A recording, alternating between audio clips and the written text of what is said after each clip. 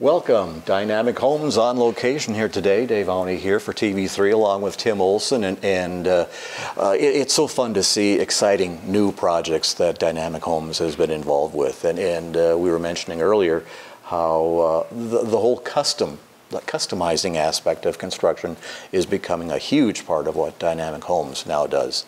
Yeah, that's for, that's for sure. The, um, the ability to customize has brought us into a whole different uh, category of home. And um, one thing that's been really uh, a fun and interesting part of this whole transition over the years is um, getting so many ideas from homeowners. You know, they, they have specific things that they like, and, and in this home, it was a, just a, a wealth of things that we'd never done before, and it was it was fun. Mm-hmm. It was really fun to do that, and it gives us that experience to down the road we can you know, suggest some of these things to other homeowners. So now, does a, a homeowner come to you with with an idea? Do they come uh, to you with with a possible floor plan, or where does it where does it start? Oftentimes, there is a floor plan on the front end that we. Uh, that we will develop into a, um, our, our working plans to use the, the modular system. Sometimes there's just criteria. Some homeowners, they know what they want, but they can't put it on paper. So they'll give us some descriptions and then we'll develop a plan and at least you have a starting point then. Mm-hmm. Okay. I think a key word to remember is, uh, is options. Yeah. Uh, we're talking about the wood selection, the wood choices, the colors, uh, so many different uh, things that people can do that uh, you know a, a, layperson just doesn't necessarily think about. Yeah, and in some of the woods that, that are kind of becoming uh, more popular. I mean, oak has been around forever, and up in the North Woods here, everybody got, you know oak is still a predominant wood, but this house has predominantly alder in it. So we have a three-panel mission uh, alder doors with uh, with flat uh, cabin cut tape alder trim. The cabinets in the kitchen are alder. Now you can see the wood behind us, the, uh, the um, vertical, uh, that's actually pine. Okay. And we had the pine tinted to blend in with the alder. So I thought it, it, it all tied together pretty nicely. It really is nice in here. Okay.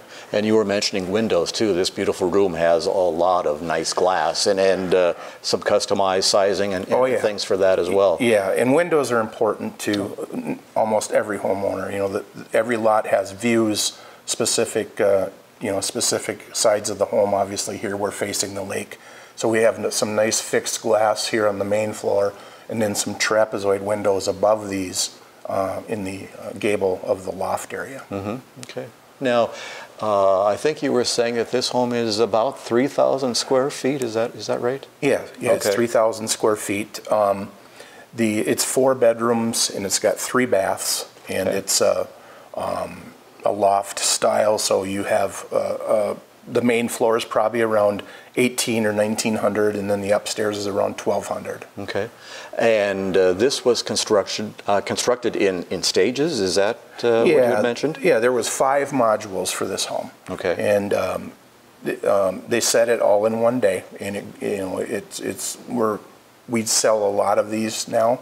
These loft homes, they're they're becoming uh, very popular, so they're one of our one of our better sellers. So we we get pretty good at at uh, bringing these to the site and getting them set and getting everything tied mm-hmm. together. Mm-hmm. Are there limits as far as sizing for uh, particular homes or or floor plans that people may have? There are there are limits as far as the um, the size or width of the module, but as far as the house design, there are there's not much. You know, as long as we can uh, convert it into a module uh, system, there isn't much we can't do. Okay, okay.